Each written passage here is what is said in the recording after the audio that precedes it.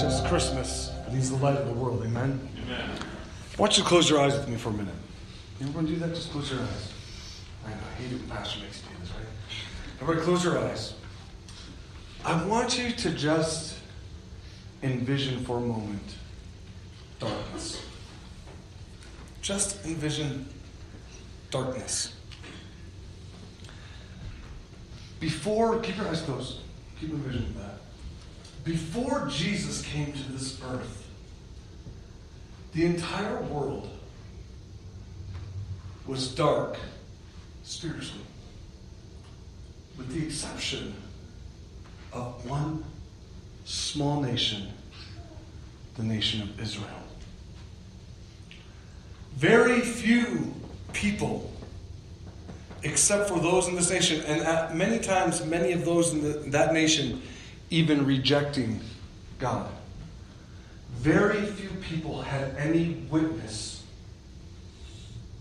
had any knowledge to who God really was. They were living in spiritual darkness.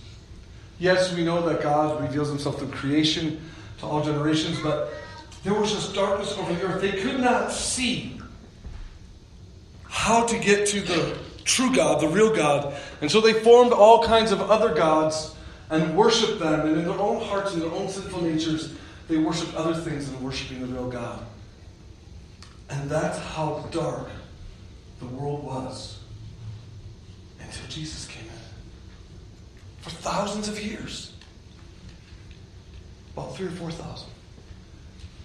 Until Jesus came in.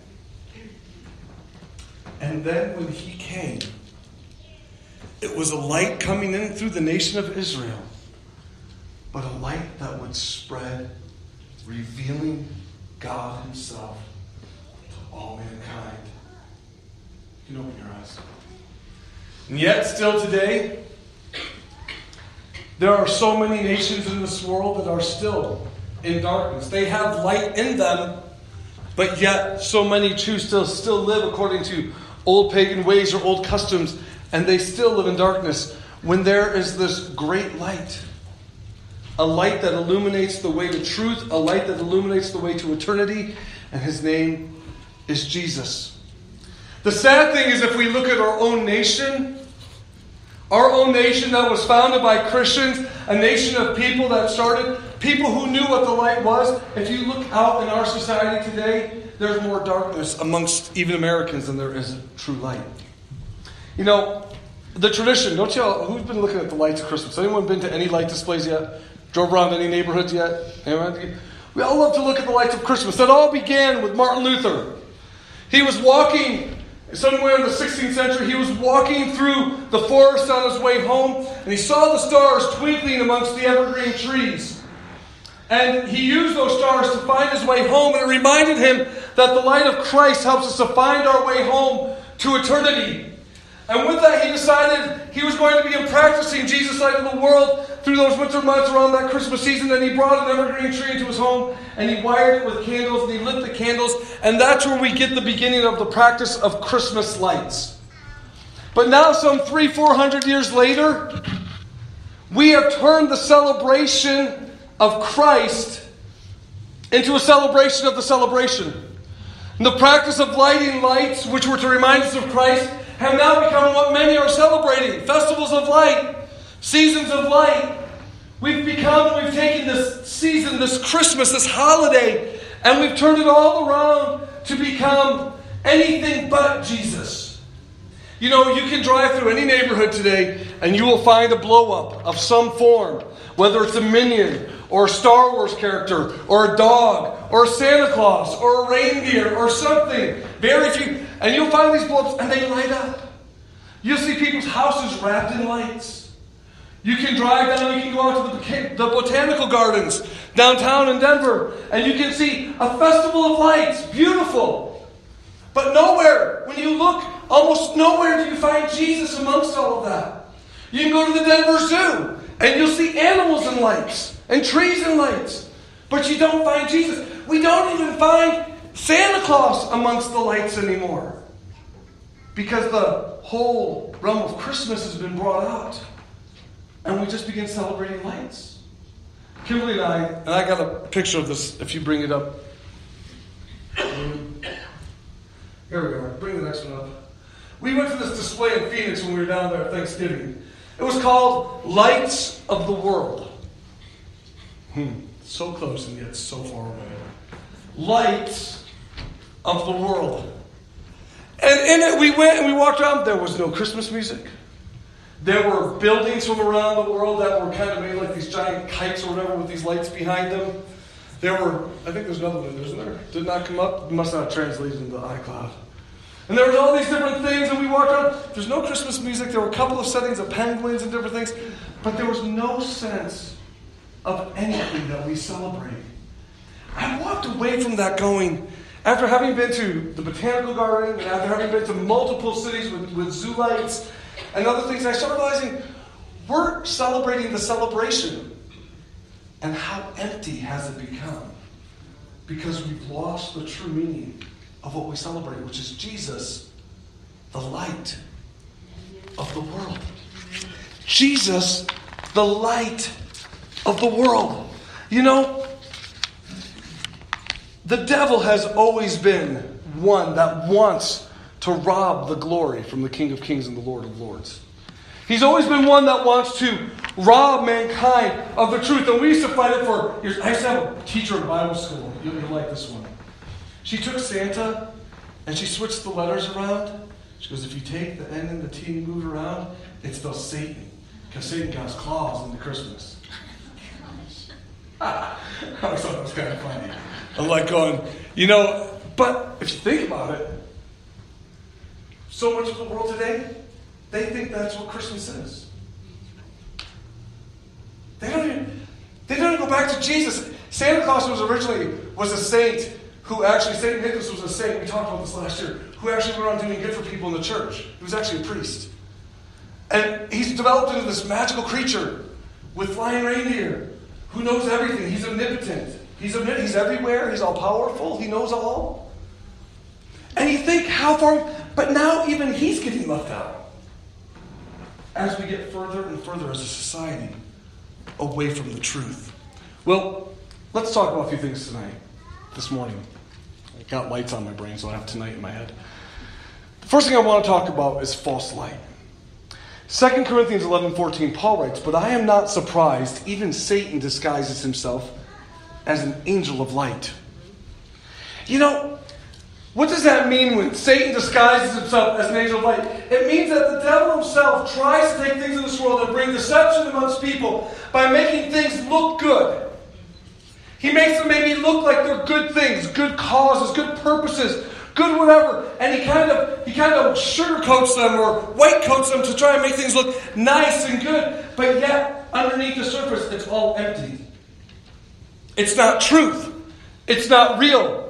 But it's part of a deception to draw us away from and to distract us from the real truth. It's to keep people in true spiritual darkness and away from the truth of the light of who Jesus is.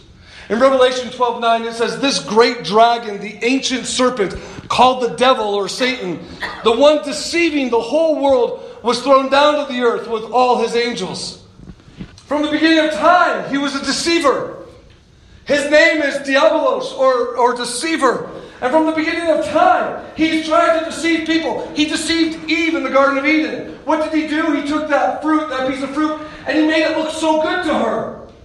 He told her how this is going to help you, how this is going to benefit you. If you eat of this apple, you'll know all things. You'll be like God. All you have to do is partake of this, and you're going to have the same knowledge of God, and you'll have the same wisdom of God, and you'll be just like God. It's a good thing. And in that moment of Eve's deception and Adam's deception, and when they partook of that fruit, they rebelled against God's one command don't eat from this tree. And they fell into sin and all of mankind into its darkness. Did it look good? Yep. Did he make it appealing? Yes. Did he say it was good? Did he say it would make them like God? Yes. Because that's what he is. He's a deceiver. In John 8 44, it says, For you are the children of your father, the devil, and you love to do the evil things he does. He was a murderer from the beginning. He has always hated the truth because there is no truth in him. When he lies, it is consistent with his character, for he is a liar and the father of lies. You see, there's great deception in our world today. There's great deception all over our society today. We are starting to call wrong right and right wrong. We don't know what's correct, what isn't, because we've gotten away from this. They make fun of this. Media makes fun of this. Educa- educators make fun of this. The world makes fun of this book and it puts it down, and therefore we're trying to find our own truth. They say there is no absolute truth. When you take out the absolute truth of God's word, you have no truth. Because you either have this truth or there is no truth. But in doing so, we see we're turning the tables and we're calling what's wrong right, what's right wrong.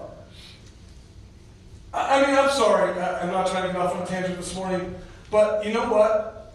There are two sexes, male and female, period. When we live in a society that's, that's crazy enough, I saw in the news this week this one guy, he, he, he, was, he was a white teenage dude, and he was referring to himself as a Filipino girl. I'm like, I mean, come on.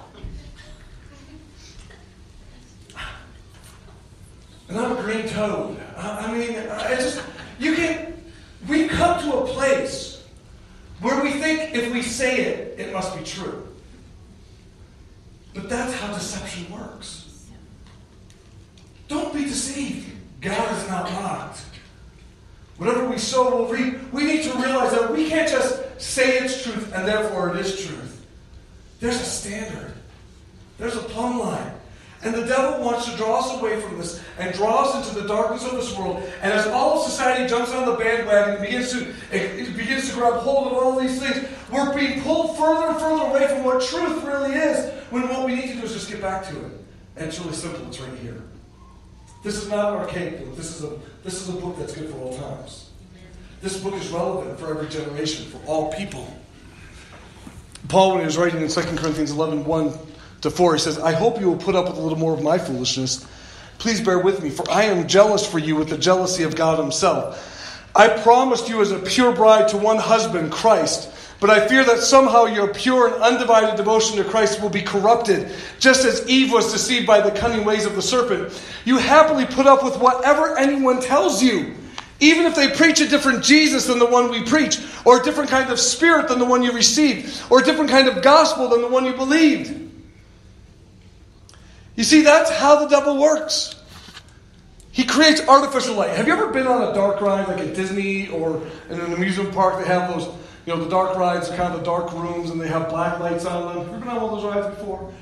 You go into them and they seem all kind of magical and mysterious and kind of cool. And if you were there and the, and the power turns off and they flip all the lights on, all of a sudden all the mystery goes away. You see the strings, you see the controls, you see the movement arms, and all of the mystery of the ride goes away because it's exposed by light. The devil wants to keep us in an artificial light so he can keep deceiving us. He wants to keep us drawn to that which isn't real and moving towards that which is empty and that has no purpose so he can distract us from the truth of what is right and good, which is Jesus. Because after all the false light, we have to come back to the real light. You see, the thing that concerns me with the generations that we're living in is that each generation, as we get further and further away from God, and we tend to go further and further away from this Word, our heat and our fervor and our passion for the things of God seem to be waning in the church. And as they wane, the next generation down starts out all the more cold and also gets further and further away from God. I'm not talking about church traditions, but I'm talking about church truths that are found in the Word of God. And the further away we get from the light and its heat and its passion, the easier it is to believe the artificial light when it comes our way. But then there's true light. Jumping around my notes a little bit this morning. Then there's true light. Jesus is the true light. Isaiah 9 2 says, The people who walk in darkness will see a great light. Those who live in the land of deep darkness, a light will shine. That was the world before he came into it. The world was dark, except for that nation of Israel that he had set apart to set his light into so they could be a light to the world. The world was dark. People did not have truth. John 1 1 to 14. John writes, In the beginning, the Word, meaning Jesus, already existed. The Word was with God, and the Word was God. He existed in the beginning with God. God created everything through him, and nothing was created except through him. What was the thing that was created at the beginning of all creation but light? Jesus was there giving life. The Word gave life to everything that was created. He's talking about Christ while he was in heaven. And his life brought light to everyone. The light shines in the darkness. And I love this next part. And the darkness can never extinguish it. Amen.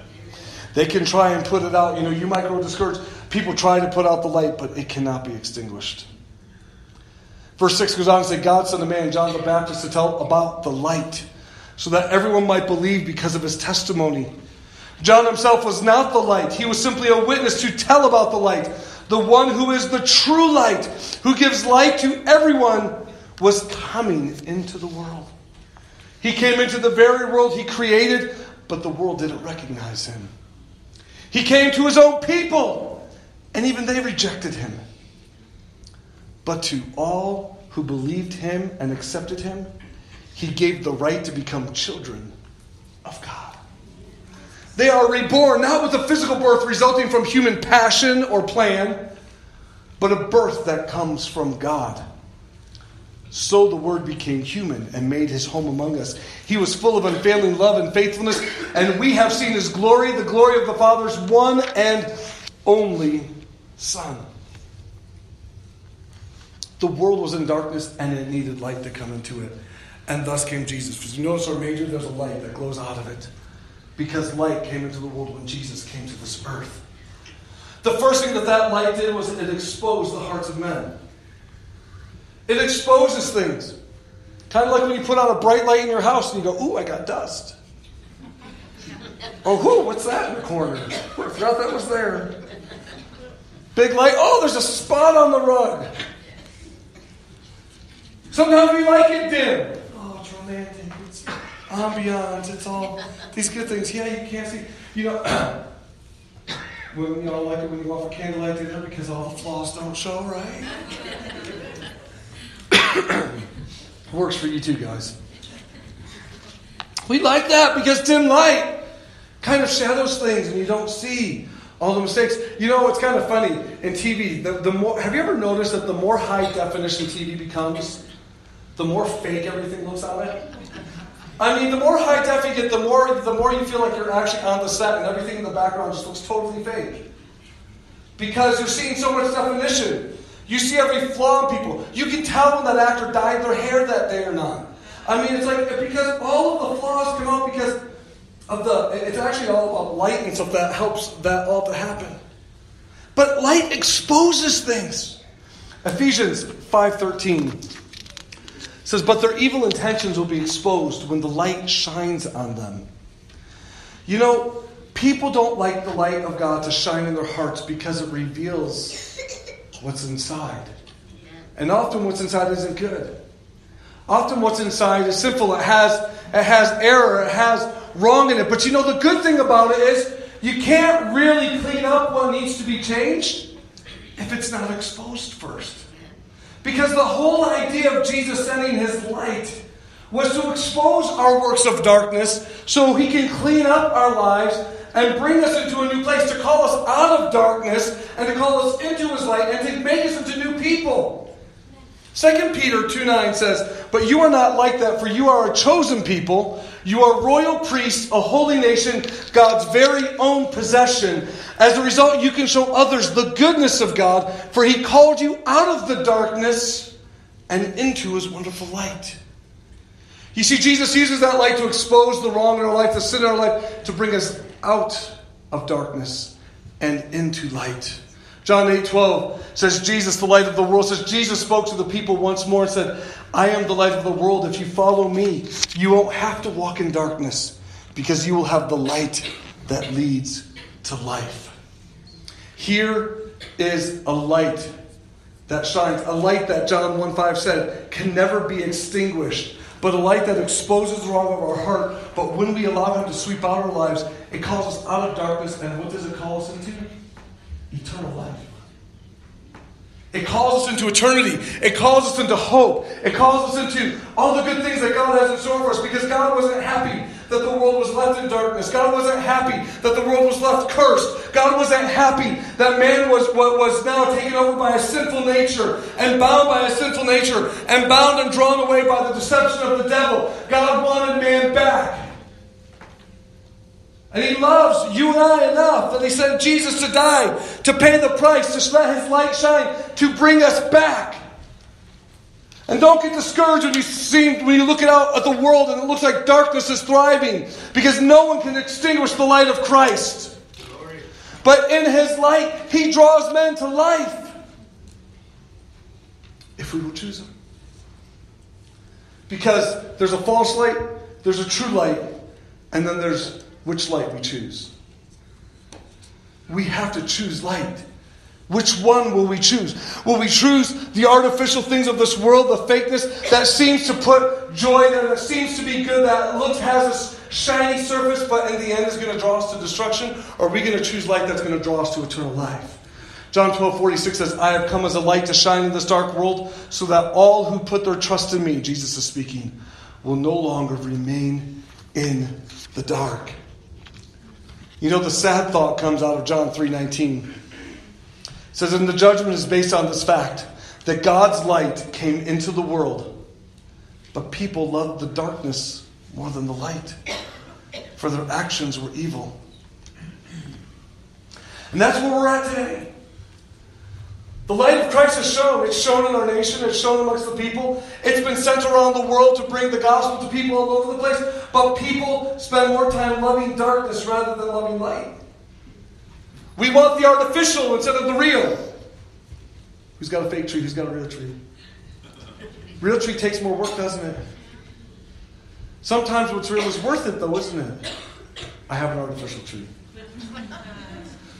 Our first year here, I tried to go back to my roots in New England and go out and cut my Christmas tree down. My daughter was up to her neck in snow, and we brought the tree home, and, and it was like just silly really looking tree. It was so it was so like Charlie Brown. It was ridiculous. We actually went out and bought a, a fake tree, and stuck that one up in my office.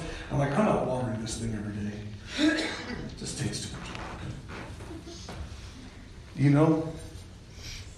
But if it's worth it to you, the real does take more work doesn't really matter in the scope of eternity what kind of Christmas tree you had. But it will matter in the scope of eternity what kind of light you let into your life. Will it be a false light that deceives and is empty and leads to destruction? Or will it be the light of Christ that, yes, exposes those areas of our lives that need to change? But when we let Him in, He draws us towards His truth. He draws us towards it's only when we're living in His truth that we can experience His true joy. It's only when we're living in His truth that we can experience His true hope. It's only when we're living in His truth that we experience His real peace. All of those things are things that come at Christmas the peace of Christmas, the joy of Christmas, the hope of Christmas. But they won't be real unless Jesus is the center of it. Amen. You can't come. You're not going to find joy in Santa. Because if he didn't bring you what you like, then you're going to be mad at the guy. And the lights on the trees, they get taken down a couple weeks later. But his light can never be extinguished. So the choice belongs to us. And you might say, well, Pastor, I'm a Christian. I serve Jesus. I serve Jesus. But do you ever find yourself being drawn away by the, dece- the deception of this world? Do you ever find yourself being drawn into the mainstream viewpoints of society where they kind of draw us away from the things of God a little bit because everybody else is going in that direction? We need to come back and say, hold it, hold it, hold it, hold it. There is an absolute truth, and it is light to my soul. We need to get back into this word and see what it says for our lives. We get back to this word and bury it deep in our hearts. We get back to this word because Jesus is the word. The word became flesh and dwelt amongst us. And let his word illuminate his path in our lives so we find a way home, even as Martin Luther found his way home through the lights of the trees that one wintry night. Jesus wants his light to guide us all the way till we get to the end. Sometimes in the middle, we get off track a little bit. But that's when we have to come and say, I need to come back. I need to let His light take me where He wants me to go. And I need to choose true light, not false light. Would you bow your heads with me?